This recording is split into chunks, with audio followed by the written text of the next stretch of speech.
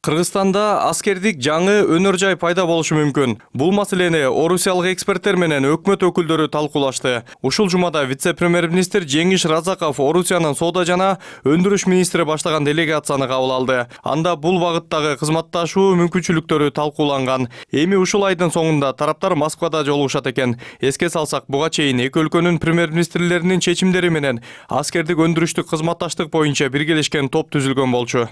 Бияктан кайсы токтоп калган ишканалар бар? Ошонун ичин кантип толтурабыз кандай проекттер жасайбыз деп ошону баягы бүгүн чоң сүйлөшүүлөр болуп атат. Жакында өкмөт аралык биздики кеңеш өткөн турат. Кыргызстан россия. Андан тышкары марттын аягында бияктан россиянын президенти путин владимирович келген атат ошонун ошонун алкагында бүгүнкү күндө биз деген сүйлөшүүлөрдү жүргүзүп бир жакшы натыйжа боло турган болсо биз деген ошонун баардыгын ошол кишилердин эмесине сынагына алып чыгабыз. Эксперттердин пикиринде Кыргызстан үчүн буга окшогон ишкана ачуу аскердик жана экономикалык пайда алып келет. Учурунда Кыргызстанда СССР боюнча уникалдуу саналган Дастан жана Ленин сыяктуу заводдор иштеген. Анда ок дарылардан тарта ракеталык торпедаларга чейин чыгарылчу. Учурда алар мурдагыдай иштебей калган. Өндүрүштү калыбына келтирүү үчүн ири каражат зарыл дешет адистер. Вообще-то э, патроны мы выпускали очень высокого качества. Биз учурунда жогорку сапаттагы ок дарыларды чыгарчубуз. Бир мисал келтирейин. Бир жолу Индияда тендер өткөндө алар бизден чыгарылган октордун сапатына абдан таң калышкан. Ал октор 25 жыл сакталган болчу. Техникалык жагына токтолбой эле коеюн. Бирок инвесторлор менен сатып алуучулар анын канчалык сапаттуу экенин жакшы билишет. Азырынча бул долбоорду ишке ашырганга башкаларга караганда Орусия кызыгып жатат. Эгерде келишимге жетишсек, абдан жакшы болмок.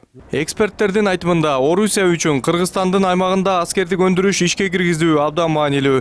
Себеби Бишкек менен Москва жамааттык кызматташтык келишими, Шанхай кызматташтык сыяктуу коопсуздукка багытталган уюмдардын алкагында кызыкчылыктары бир. Андан тышкары аймактагы коопсуздук үчүн Орусия аскердик техника берип келет. Кыргызстанда аскердик ишканалар ишке кирсе, бул эки өлкө үчүн пайдалуу болмок дешет адистер.